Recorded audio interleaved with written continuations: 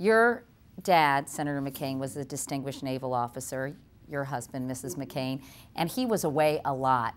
Did that make the two of you grow very close as you were growing up? It really did, particularly during World War II when he was gone almost all the time. Like so many, so many who served in the military in World War II, they just went until the war was over.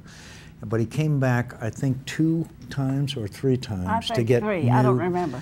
To get new submarines, submarine commander to get new submarines to replace his older one, and that was the only time we saw him. And we drove across country as a family. How were you able to get through all those years when your son was in captivity? Well, I do have faith. I have, I, I have faith in God's will, and that's all I ask for. I think that was harder in some ways on my father because he was the commander of all the U.S. forces in the Pacific.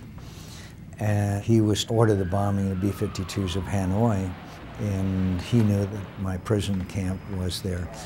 And of course, he carried out that, those instructions and gave the orders without hesitation, but it's still pretty tough on a father. Let's talk about politics and this campaign. You don't like when your son's age is brought up, do you? I don't mind when you think about the experience and what he's accomplished, as opposed to a man who two years ago was in the state legislature in Illinois. You have said that Senator McCain is more like his father in that you hold grudges, but he doesn't. Yeah, he won't hold a grudge. And How can you not mad. hold a grudge and, and be in Washington as long as you've been, Senator? Well, I think, Katie, that you find out over time, and it does take time, and that it's kind of a waste of time. I think it's important to, when you have differences, to put them aside and move on. And that, and that was hard for me to learn, but I finally did, and I'm, I think I'm a better person for that.